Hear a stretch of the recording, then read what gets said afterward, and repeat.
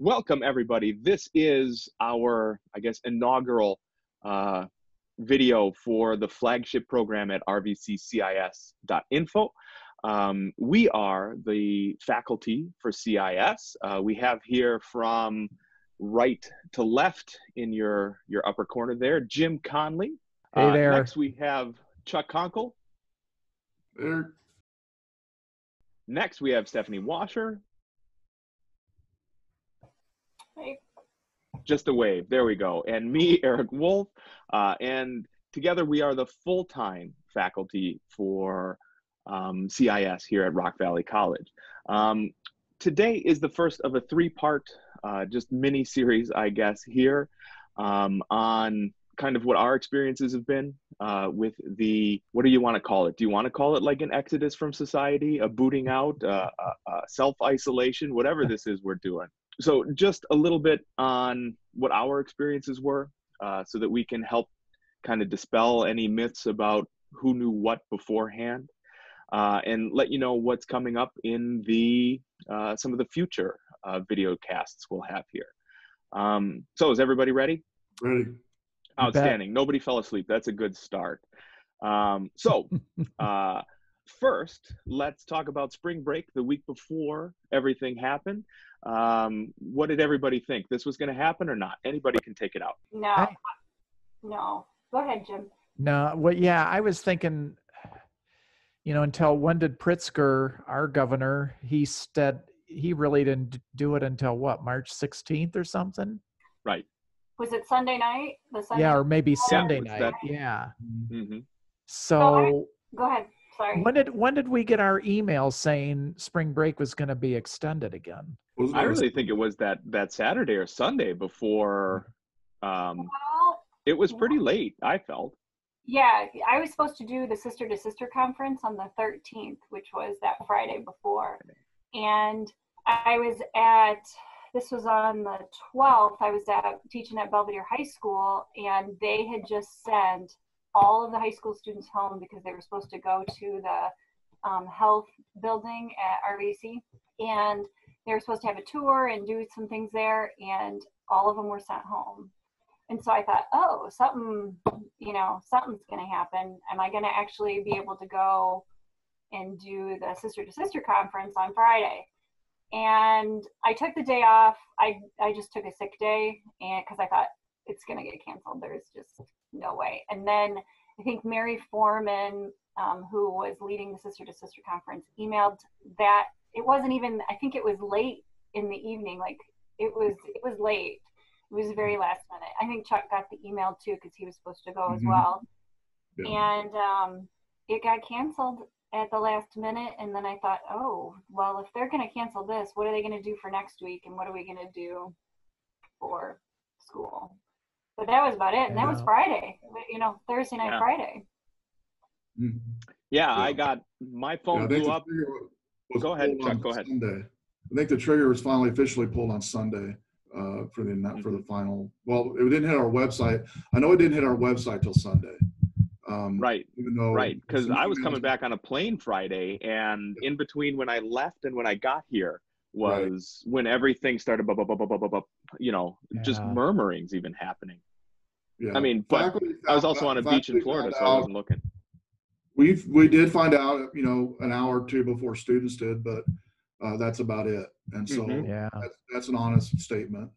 And so, uh, but you know, the only reason we needed to know beforehand was so we could know how to respond to students and help with Mhm. emails that you guys would send us and things of that nature. It wasn't a reason of hiding anything. It was just preparing for messaging for you guys to know what to do, what not to do, and all that good stuff. So. Mhm. Next, since those were our thoughts on closing campus, what was the last day on campus like for all of us? So we actually all got together uh, on campus. There was an all hands on deck uh, call uh, for faculty and staff to be there on that Monday. March Uh, 16th. Yep, March 16. Uh, and what kind of a, a a shamble was that meeting for all of us? I, it actually was pretty good because we got to see we, we got to see all of our adjuncts and That's and true. kind of figure things out real quick what we're gonna do with uh, uh, CIS 102 because that was kind of the big, you know, big thing that everybody taught together. So that was kind of nice, and just to see how everybody kind of was doing. And, and I think we're all super busy. we were super, even the adjuncts were, were really busy. So I don't know. It was kind of nice actually. Yeah, it was nice seeing everybody there, not Yeah. knowing what what gonna what's going to happen the next few days later. So it was nice to see that. Yeah, because we didn't know if we were going to come back or not hmm for Right. face to face. Right. Right. They did it just for that week, saying, okay, for the next week, we'll be online. hmm Right. Yeah, and honestly, at the time, I figured there was there was no way we were gonna do this kind of blanket shutdown for everything, just because you know look how many programs we have that need lab time, that need hands-on time, that have you know think about automotive and all that stuff. Right. So I think we are like Jenny Kunkel said that day we met was you know we're CIS. If we don't know what to do, we're in some pretty deep trouble. uh, but uh, since then, I know you know Chuck and Stephanie and I for sure, but I'm sure Jim too have been helping other faculty just getting hmm acclimated uh, Yeah. Right. to the online process here. Yeah, whenever I heard the news from uh, New York that they were calling it, I figured we would probably do so, which we did pretty quickly afterwards. hmm Um, and I think that was pretty global. Students were aware of that as Right. well. So um, it wasn't a surprise after after the call from New York that that uh, we would uh, follow suit, which we Yeah. did. Um, and, you know, I think it, it's it is. I think it was a good thing that we did it when we did it for uh, the safety of, of our students and and of uh, those in the community. And so were Yep. finding out now it's help. It did help, and it is helping flatten the curve, as the health officials say. And so, does anybody like it? No, definitely not. But one of those deals we have to deal with, and be be as positive as we can through the change and support each other which I think as faculty and as students both, student to faculty, faculty to student has been awesome as far as what I've seen. Yeah. Communication and interaction, been really good. Anybody else want to take it out? Chuck, that was a fantastic summation right there. I like that. That is a plus work. All right, cool. It, it helps having the Elvis Presley shades too, by the way. It does. See, oh. you got to put on shades for that, and I just had to put a fresh coat of dome wax on there. So Yeah, you exactly. you win that one hands down. I try to help out. I didn't want you to have to do any lighting for this, Eric, which is why I Yeah. wear the cap. Ooh, do that again. I like that, Jen. Take the hat off again. I like that. Do it again. Yeah, yeah, you know the special He's light. take that headphone off. yeah, Then. Yeah. right. Yeah, you're, it kind of blurs you out a little. Yeah, it blurs the head out. It takes the head off. Like, It's like half dome at Yosemite. So yeah.